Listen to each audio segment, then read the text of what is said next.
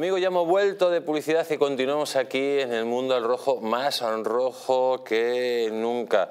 Y antes de seguir, permítanme que voy a presentar al doctor Ignacio Ismael García Recuero. Eh, estamos hablando de uno de los doctores más eh, reconocidos a nivel nacional e internacional de masilofacia y odontología, cirugía masilofacia. Eh, buenas noches, doctor, ¿cómo está? Buenas noches. Un placer estar aquí.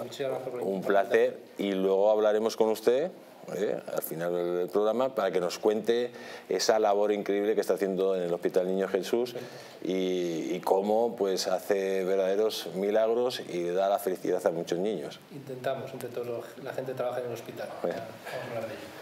Amigos, pero mientras tanto vamos a continuar, porque atención, lo que dice esta noticia, Ucrania avanza posiciones en Bakhmut y confirma la tan esperada contraofensiva. Dice la, la, gran contraofensiva ucraniana continúa con paso firme según los últimos avances del ejército ucraniano.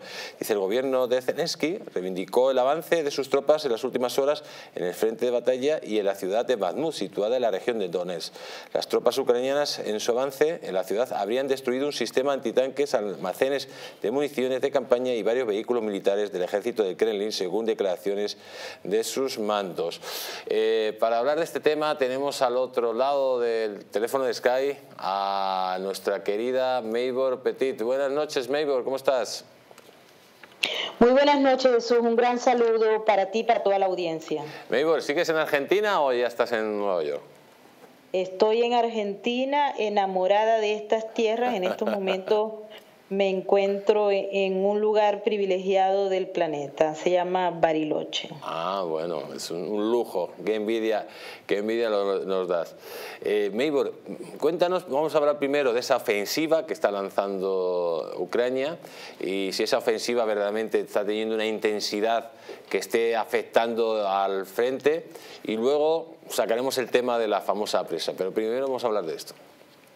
Mira, el, yo sigo insistiendo en la premisa de que en la guerra de Ucrania y Rusia, lo primero que murió el año pasado fue la verdad. Eh, se ha utilizado un manejo de propaganda muy efectivo en el lado occidental del planeta mientras que en el otro lado pues uno observa que también se maneja un sistema que intenta imponer un relato que no necesariamente se parece a la verdad. Por acá te cuento, aquí se ha venido discutiendo y por parte de los Estados Unidos eh, dos tesis importantes que se dieron a conocer justamente cuando eh, se develaron una serie de documentos ah, del Pentágono. Uno de los ah, temas fundamentales era justamente si Ucrania, con la ayuda de Occidente, tendría o no la posibilidad de presentarse fuerte ante esta contraofensiva. Y aquí tenemos el problema, porque eh, hace dos semanas eso pareciera que no era posible. Sin embargo, ahora aquí se está publicitando el hecho de que definitivamente Ucrania puede avanzar. No obstante, esta última información sobre el tema de las represas, Jesús, yo creo que también está dando dos escenarios diferentes eh, cada país está acusando uno a otro, pero eh, si me permite, en la próxima presentación vamos a ver lo que se dijo hoy mismo, hace pocos eh, minutos. te voy a poner un, un vídeo, ¿vale? De las últimas informaciones que tenemos de lo que supuestamente ha pasado en, en, en Gerson y el tema de la presa. Vamos a ponerlo. La ruptura de una importante presa en el río Dnieper, frontera natural entre los ejércitos ruso y ucraniano, provoca la evacuación de miles de residentes. La estructura de Nueva Kajovka, en manos de militares rusos desde el comienzo de la guerra el año pasado, empezó a colapsar a las 2 de la mañana, las acusaciones se cruzan entre ambos países. Kiev asegura que fue provocado desde dentro de la central y Rusia dice que se debe a una serie de ataques con misiles ucranianos acusándoles de provocar un sabotaje deliberado. 80 municipios se encuentran en peligro y además de las consecuencias humanitarias del desastre, al menos 150 toneladas de aceite de motor fueron vertidas sobre el río y existiría el riesgo del vertido de otras 300 más, según apunta la presidencia de Ucrania. Kiev asegura que la intención de Rusia es obstaculizar el avance de sus tropas hacia el lado invasor y que unos 17.000 ciudadanos deben ser evacuados en su lado de río. Otros 25.000 serían del lado de Rusia, quien ya ha abierto un caso penal por atentado terrorista. El ministro de Defensa ruso aseguraba que el ataque tenía como objetivo evitar acciones ofensivas. Más allá de las fronteras, todos condenaban el ataque, consecuencia del conflicto. Una ofensiva que también afectaría a la central nuclear de Zaporilla, ya que este envase suministra agua para los sistemas de refrigeración de la central. Uh, a lo que el director general de la OEA ha querido restar preocupación, ya que por el momento no existen riesgos inmediatos y se trabaja en diferentes medidas para reabastecer el suministro de agua. Ambos países han solicitado ya una reunión al Consejo de Seguridad de la ONU, que se celebrará de urgencia este mismo martes y que califica de catástrofe monumental y humanitaria, consecuencia devastadora de la invasión rusa en Ucrania.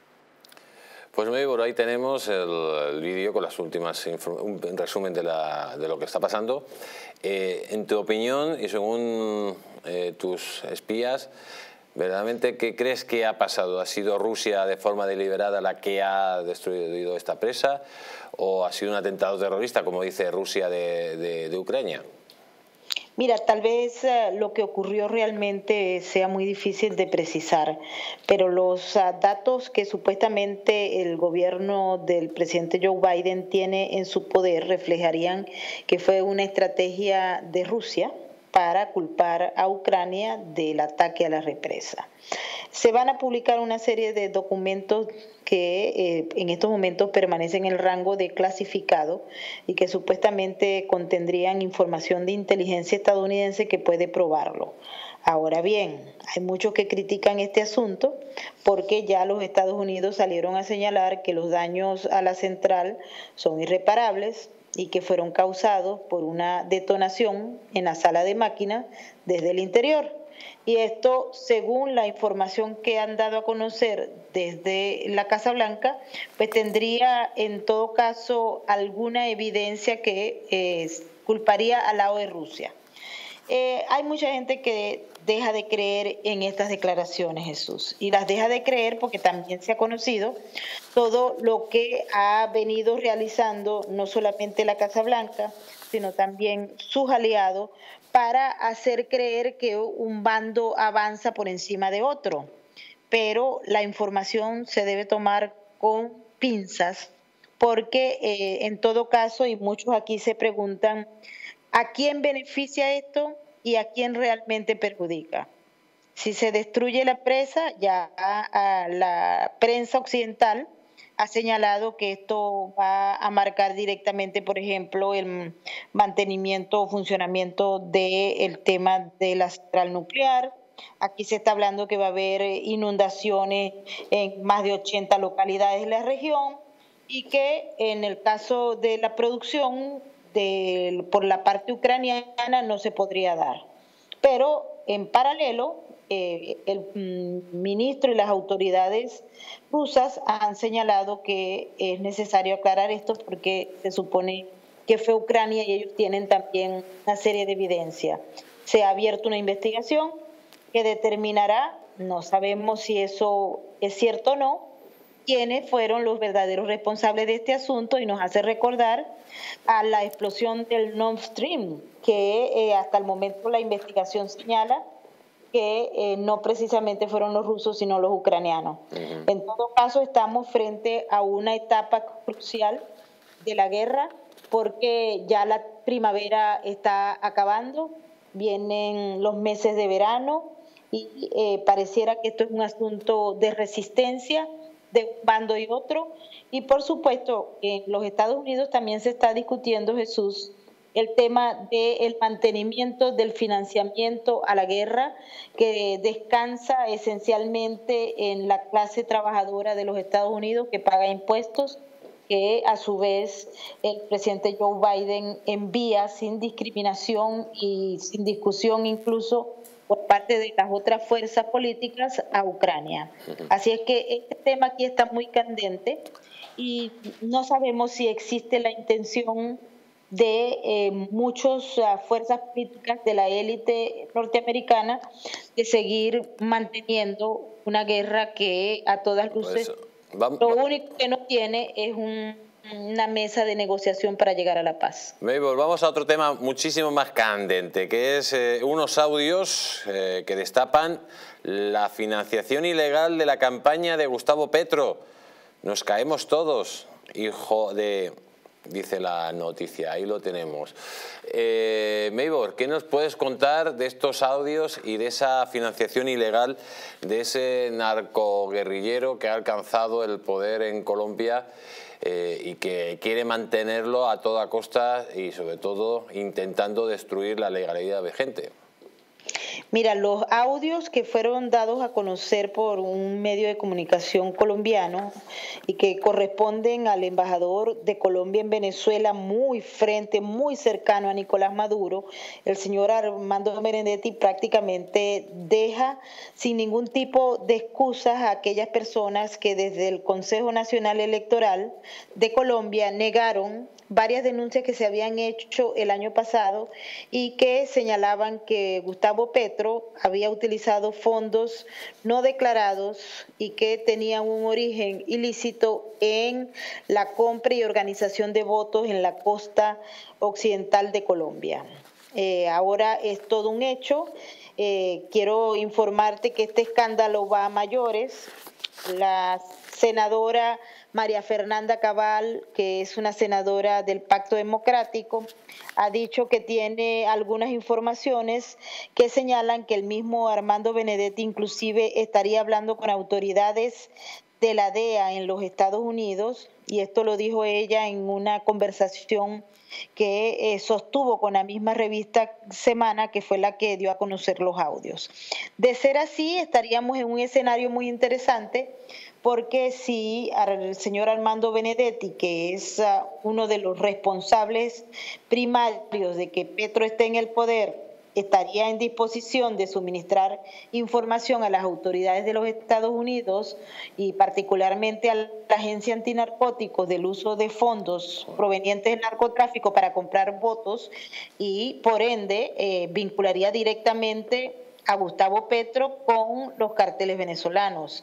Eso es lo que se está dando a conocer en Colombia, pero también en Estados Unidos se ha empezado a especular porque un medio de comunicación en el estado de la Florida publicó una supuesta fotografía en la que aparece Benedetti reunido con unos agentes de la DEA según la información del medio de comunicación. Así que todo está por verse. Nosotros hemos activado ya nuestros contactos para verificar si es cierto o no que pueda existir la posibilidad de que Benedetti se entregue a las autoridades ah, de la DEA en Estados Unidos. Si esto es así, sería la verdad que el escándalo del año.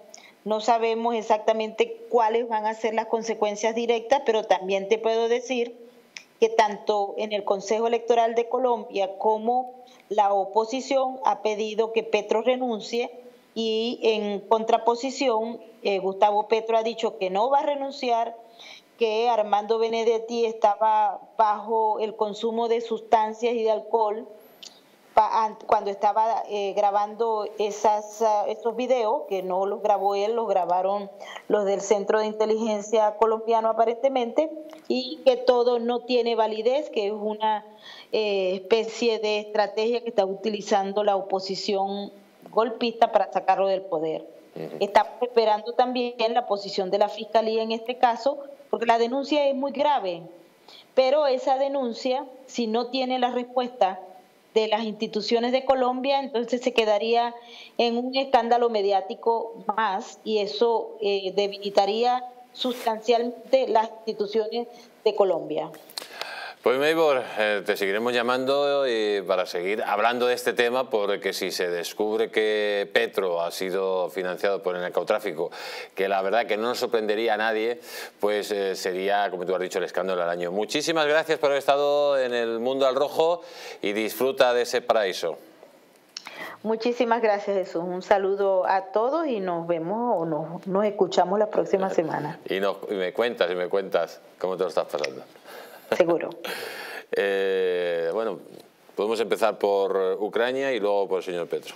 Sí, bueno, o, digo primero lo del señor Petro, que me parece que efectivamente, si esto se confirma, es un escándalo eh, fenomenal, pero me parece que va a ser muy complicado echar así por eh, como si al presidente colombiano del poder. Mm, complicado, pero complicadísimo. Además, teniendo en cuenta una cosa, don Jesús, a Petro le apoya Soros. Eh, el, él y su, esposa han dado el, agradecimiento, lo han expresado públicamente a la Open Society de George Soros por cómo contribuyeron, cómo le ayudaron en la campaña electoral y cómo han estado eh, vinculados con él en diferentes eh, operaciones que se han hecho no solamente en América Latina, sino también en África. Por tanto, tiene un agarre de estos que se dice brutal. Difícil será que le puedan echar al señor, al señor Petro. En el tema de Ucrania, bueno, siempre se ha dicho que la primera víctima de la guerra es la verdad. El otro día escribí un artículo muy interesante, Luis María Ansón, en, La Razón, eh, eh, explicando cómo él, que estuvo en Vietnam, en Corea, en el Congo y en otras eh, muchas guerras durante su etapa profesional,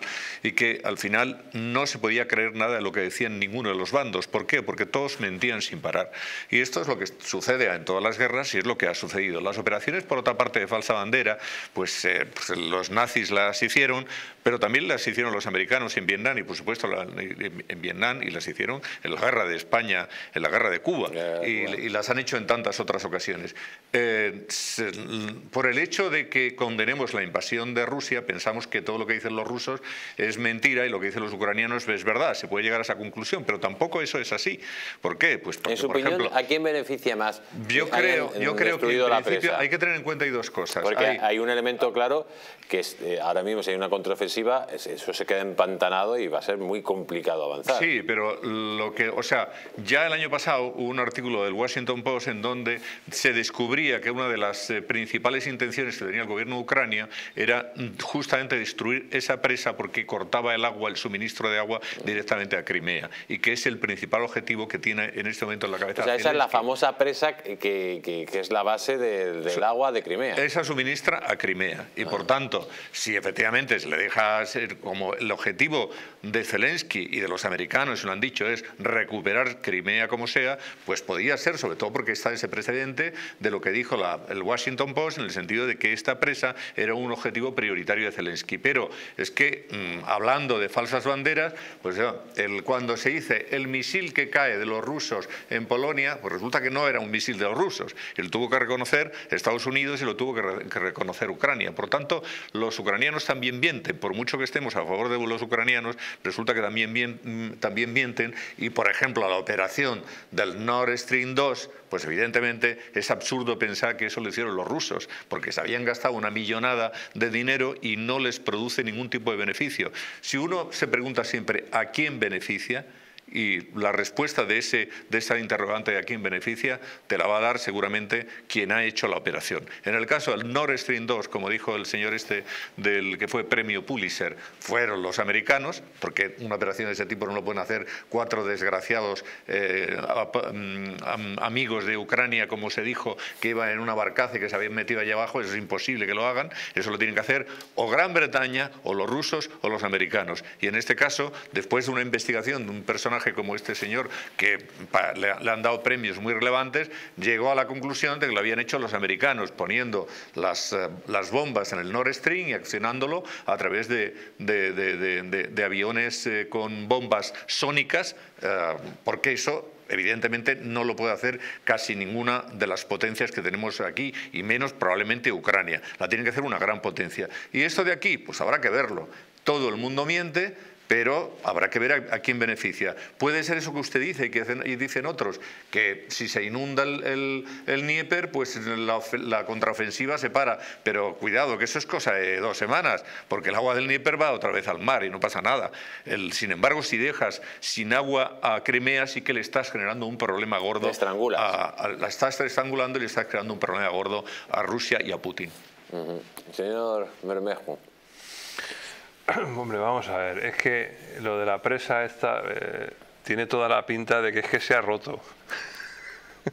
pero, pero literalmente, es decir, o sea, insisto, si tú quieres em, volar una presa, la vuelas. ¿eh?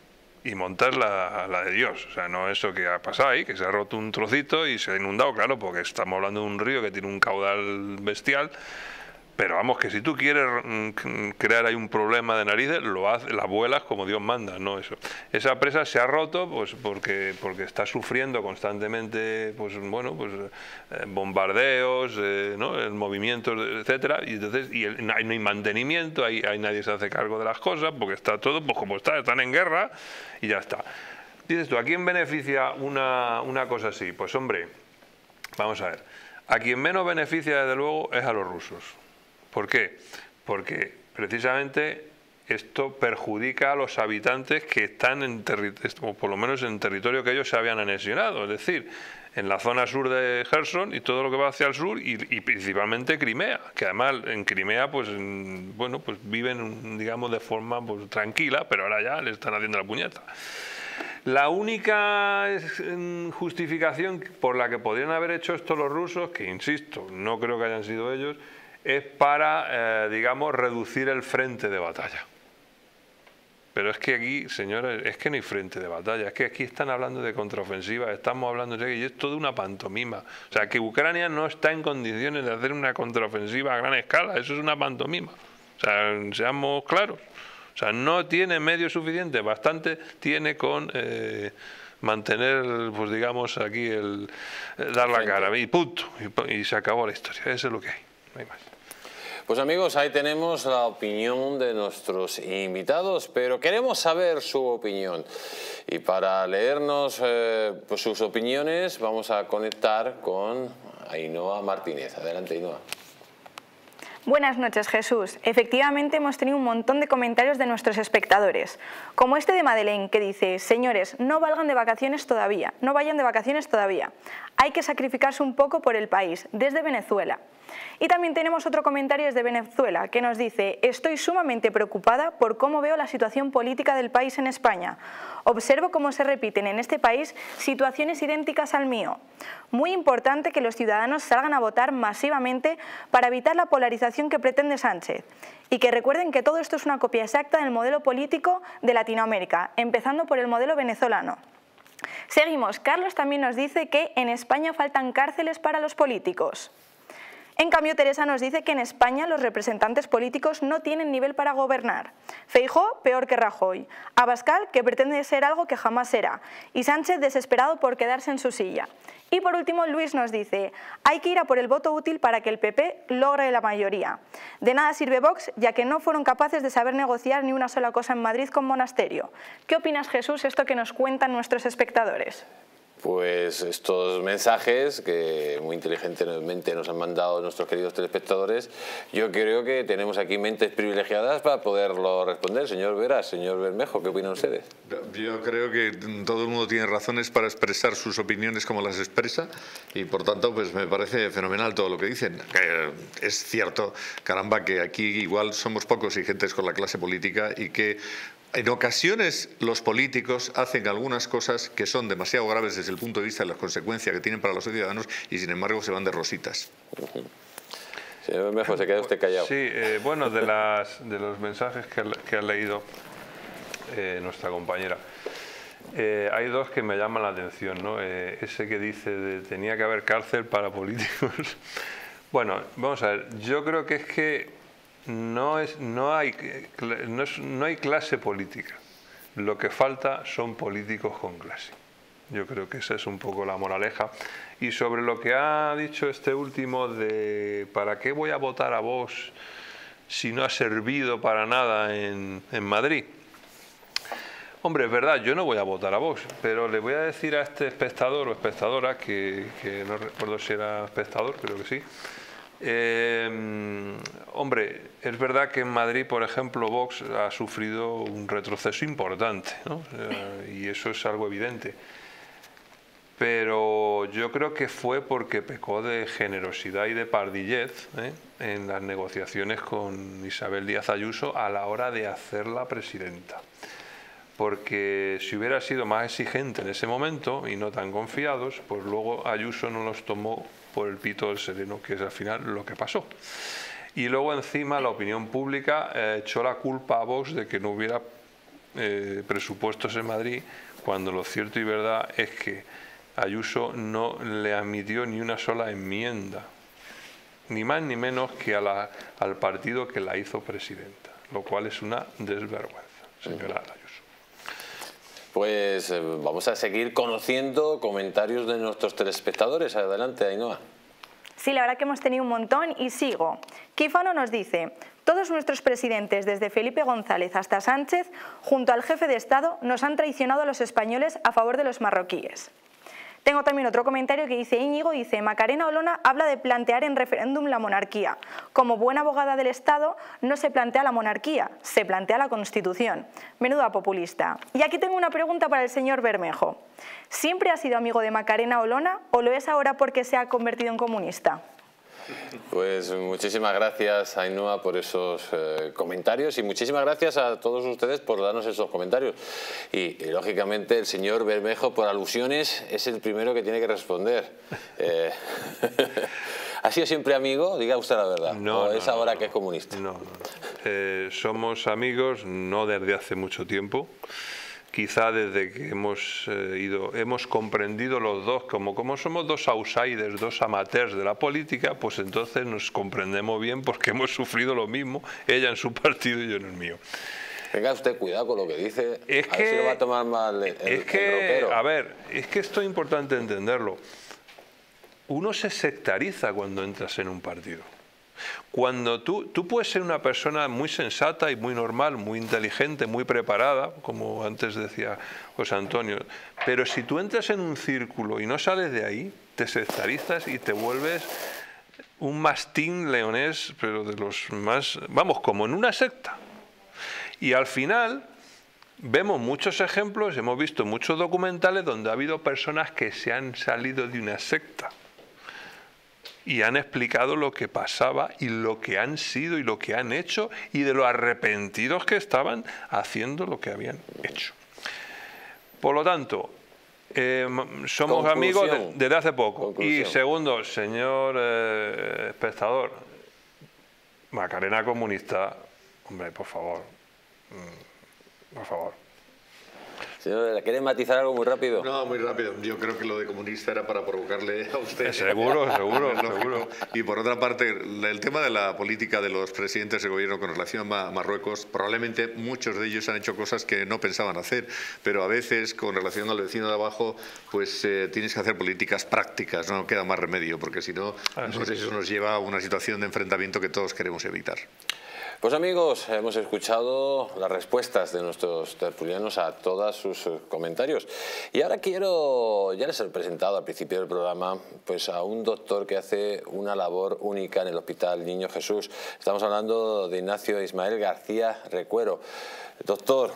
buenas noches. Buenas noches de nuevo. Muchas gracias. Eh, un doctor como usted, que sobre todo se dedica a la cirugía masilofacial, cuando ve usted a esos niños que están en esa situación tan grave y, y les vienen los padres casi a realizar un, pues un, milagro, un pequeño milagro para que esos niños puedan tener una vida normal, como la mayoría de los niños. Eh, ¿Qué recompensa recibe usted, no ya de los padres, sino desde el punto de vista del buen trabajo hecho? No, yo creo que cuando te enfrentas a este tipo de, pacientes, eh, porque es muy distinto tratar un paciente adulto a un, paciente pediátrico con, necesidades tremendamente especiales que tiene toda la vida por delante y, le tienes que poner en la, mejor condición y en las mejores eh, eh, expectativas para incluirse no solo en la, en la sociedad que cada día es más exigente y cada vez es más cruel con los distintos o con los que tienen alguna limitación y nuestra obligación es dar lo máximo dentro del hospital para que estos niños se puedan integrar lo antes posible a su vida social, a su vida familiar y a, un futuro de, una sociedad eh, que les va a exigir tener que trabajar, tener que integrarse y no ser discriminados por su estética o por sus limitaciones físicas o intelectuales, con lo cual la recompensa es ver cómo salen adelante nuestro hospital y es muy, como decimos nosotros, estación termini, o sea, somos última referencia en España en mucha de la patología compleja pediátrica y no hay más. Es decir, por eso la exigencia es brutal y nosotros nos esforzamos día a día en seguir aprendiendo, en seguir formándonos en seguir haciéndolo más y mejor, aprendiendo mucho de nuestros errores para que los próximos pacientes se, beneficien de nuestra, de nuestra propia mejora. Eh, cuéntenos usted el caso, el caso más difícil al cual se ha tenido que enfrentar. Eh, cuéntenos, digamos, eh, un caso que hayan visto que la situación era muy complicada, casi imposible, pero al final todo ha salido bien. Pues los, más acuciantes generalmente son los pacientes con oncología, ¿no? oncología pediátrica, porque son, eh, bueno, los tumores malignos en, niños son bastante agresivos. Nuestro hospital es centro de referencia para patología oncológica, no solo de España, sino de, otros países.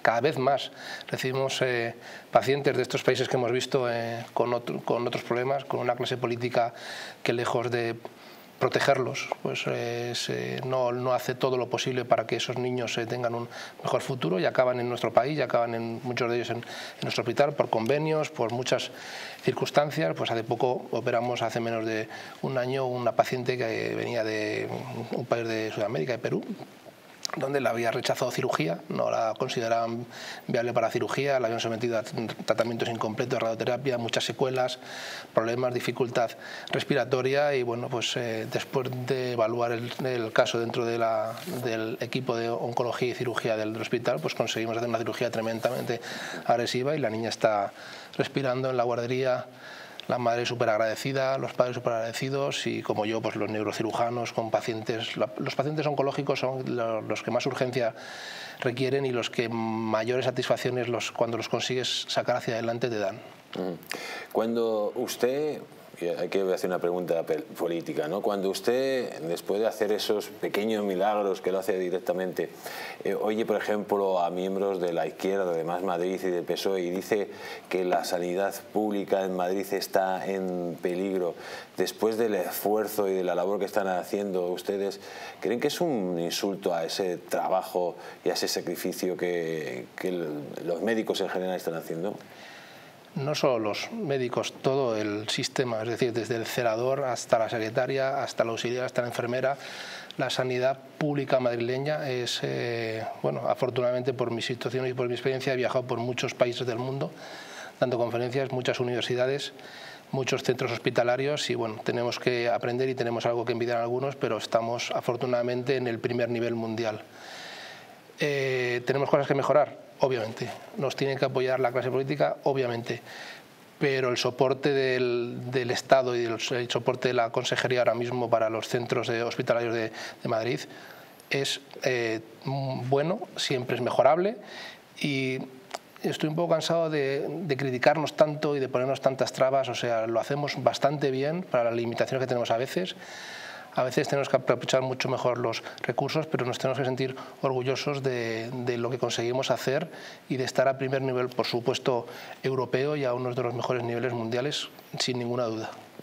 Señor Vera, ¿qué opina usted de tener aquí una celebridad que muchas veces en los medios de comunicación pues hablamos de Macarena Olona, mm. de su novio rockero, pero no hablamos realmente de los héroes que tenemos aquí, eh, diarios, esos médicos que dan su vida pues para mejorar la vida de todos nosotros? Bueno, y tenemos unos, eh, unos especialistas que, son, que están en el máximo nivel eh, si los hacemos una comparativa con otros eh, países de nuestro entorno, en muchísimos ámbitos. ¿no? Y bueno, se ha dicho siempre que la sanidad española es muy buena. Mm, yo, doctor, le quería con relación a ese tema, aunque nos salgamos, eh, digamos, del hilo argumental, en los últimos tiempos esto se ha venido a poner en cuestión. No sé si por después de la pandemia o por el hecho de que a lo mejor pues hayamos visto muchas huelgas, etcétera, etcétera. Realmente Mm, ¿estamos tan bien como se decía antes o tan mal como algunos dicen ahora? Eh, yo creo que con relación a, por ejemplo, la gestión de la pandemia, nada es perfecto. Y la situación era una situación, no era una situación de guerra con, con balas y con misiles, pero una situación dantesca de guerra. O sea, este país se ha, se ha, sometido a un estrés sanitario sobre todo esta comunidad autónoma por sus circunstancias y por su peculiaridad demográfica terrible y ha, subsistido. Y lo ha hecho no por, el, por la clase política, por los médicos, por la población, o sea, ha sido ejemplar. Fallos, por supuesto, seguro que ha habido, pero nos damos cuenta de lo que hemos conseguido, de la gente que hemos salvado. Es muy triste la gente que no lo ha podido superar, evidentemente, pero la gente que se ha salvado por una gestión y por un trabajo solidario de toda la, de toda la sociedad. Eh, yo, yo, conozco, tengo bastantes amigos en New York. New, York pasó una situación absolutamente dantesca y vinieron aquí a aprender cómo lo habíamos hecho cómo lo podemos haber sacado, con todos los muertos que ha habido y con todo lo que hemos pasado. Pero nos tenemos que sentir, entre comillas, orgullosos como sociedad de cómo hemos podido solventar esto. Al hilo de esto, ni somos perfectos ni somos lo peor. Somos un sistema sanitario con sus limitaciones, que necesitamos más recursos, que necesitamos más inversión en I+.D., necesitamos más inversión en nueva tecnología, en formación, en formación y en formación pero nuestro nivel ahora mismo es de las mejores sanidades, de los mejores sanitarios del mundo. Y a las pruebas me remito en los índices de longevidad, en los índices de curación, en el índice de, vacunación. Es decir, eso habla del sistema sanitario, de la potencia y de los recursos que hemos eh, movilizado, pero yo hablaba, por ejemplo, en, hace unos cuantos meses o el año pasado con el jefe de Berlín, que es un amigo mío de mi, de mi, de facilidad, y me decía que le estaban sorprendidos en Alemania. La tasa de vacunación máxima en Alemania llegó al 70% en España y en la Comunidad de Madrid el 95%. Es un ejercicio de responsabilidad y de infraestructura difícilmente mejorable, con lo cual no somos los mejores probablemente, pero no estamos tan mal. Que tenemos que mejorar y necesitamos ayuda y necesitamos aprender y tener más recursos, claro, ¿quién no? Pues doctor, muchísimas gracias por haber estado aquí. Es usted un ejemplo para todos los españoles, para supuesto por los madrileños y desde aquí, pues desde la casa, darle las gracias por esa labor que es impagable, la que hace usted, por, sobre todo por cambiar la vida a los niños eh, y por ese sacrificio que ha hecho usted que convierte pues eso, ese trabajo de, de uno, como es el suyo, pues en, como decimos, en, milagros para otros. Muchísimas gracias, a vuestra disposición siempre. Muchísimas gracias a usted. Y nos despedimos de nuestros queridos tertulianos. Señor Vera, muchísimas gracias por haber estado aquí. Muchísimas gracias a usted y un saludo para todos los telespectadores. Eh, señor Bermejo, Hoy más rojo que nunca, ¿no? El mundo es rojo. Más rojo que nunca. Y seguiremos tiñendo esto de rojo. La, y... la, llega a decir, a usted todo está comunista. Fíjate si se ha vuelto rojo, el programa. Y tanto, y tanto, y tanto. Un placer. Y, amigos, eh, a todos ustedes darles las gracias por haber estado pues, un día más aquí con, en el Mundo al Rojo, en Distrito Televisión, y decirles, como siempre, que sean ustedes buenos, que Dios les bendiga y que Dios bendiga a la Madre Patria. Y mañana le esperamos con más noticias, más sucesos y sobre todo contando la verdad que desgraciadamente muchos medios de comunicación ocultan a la opinión pública. Hasta mañana amigos.